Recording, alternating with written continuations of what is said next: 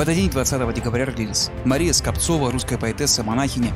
Эмигрировав во Францию, она открыла там благотворительную организацию помощи русским «Православное дело». Скопцова погибла в камере Равенсбрюка за неделю до освобождения концлагеря Красной Армии. Химик Алексей Баландин, основатель научной школы в области катализа.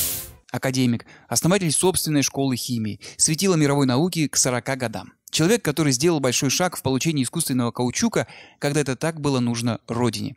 Таким был Алексей Баландин. И несмотря на все его заслуги, в пору великих репрессий ему пришлось оправдываться и за свое происхождение, сын сибиряка-капиталиста, и за свое сотрудничество с коллегами из Европы. Свою работу за границей считаю плодотворной. В результате ее явились четыре печатные научные работы. Первое время я использовал для посещения ряда лекций, чтобы ознакомиться как с методом преподавания, так и для глубокого усвоения учений таких выдающихся специалистов, как Шрёдингер, волновая механика, Лауэ, рентгеновские спектры, Нернст, Эйнштейн и другие. В конце 1930-х очень помогло заступничество его учителя Зелинского, изобретателя противогаза. Дело решали на уровне Сталина и Молотова, и тогда еще арестованного по надуманному предлогу академика отпустили. Но в конце 40-х он был репрессирован снова, основательно.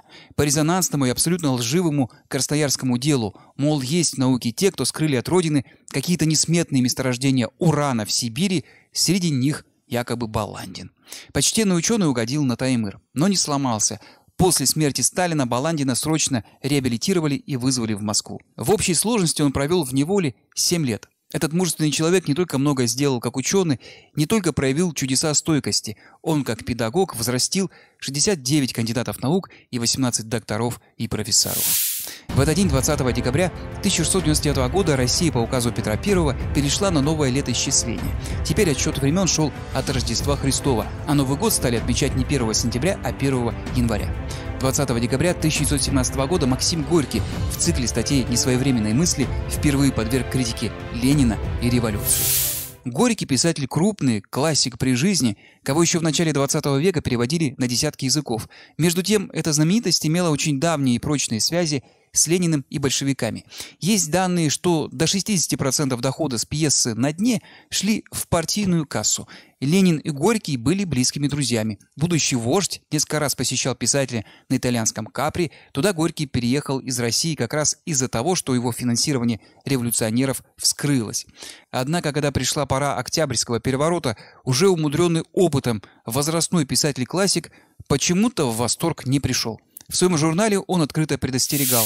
На улицу выползет неорганизованная толпа, плохо понимающая, чего она хочет. И прикрываясь ею, авантюристы, воры, профессиональные убийцы начнут творить историю русской революции.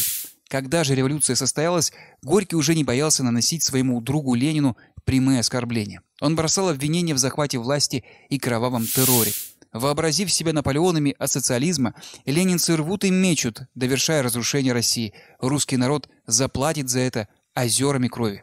Народные комиссары относятся к России как к материалу для опыта. Русский народ для них – та лошадь, которой ученые-бактериологи прививают тиф террор, гонение на инакомыслящих, на цвет русской интеллигенции – все это надолго разорвало связи Горького и Ленина. Писатель на многие годы снова уехал в эмиграцию и вернулся уже в 30-е по приглашению Сталина.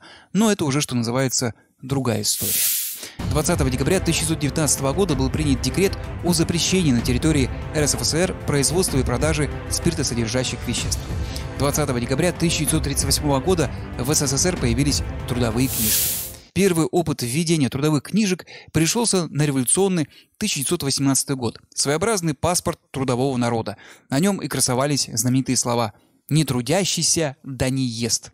Потом на время этот документ упразднили. Окончательно трудовые книжки закрепились сталинским законом 1938 года.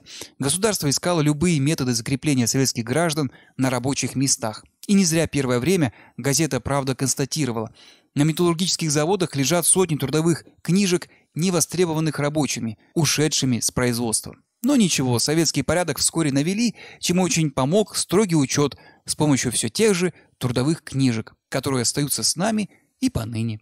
Таким был этот день 20 декабря.